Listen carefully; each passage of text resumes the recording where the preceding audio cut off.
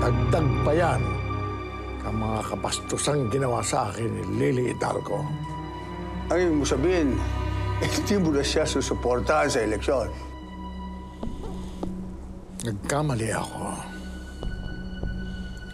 Nagkamali ako ng tatayan. Iniisip ko ngayon kung paano ko babalian ng pangil at aalisan ng kamandag ang dalawang ahas na gustong tumuklaw sa akin.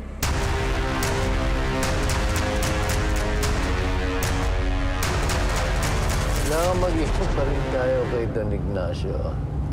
Alam mo, tuso yung matandang yan. Mas tuso pa nga ata yan kaysa kay Satanas. Eh. Parang tayo din niya nakikipag-alyansa lang naman tayo hanggat magagamit natin yung tao.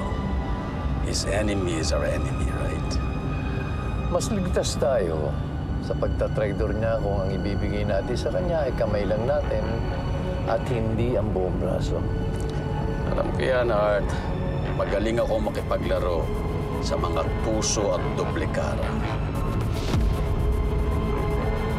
Importante, mapatay natin si Cado Dalisay na ang gamit natin ay asset ni Ignacio at wala tayong konsumo sa atin kahit ano.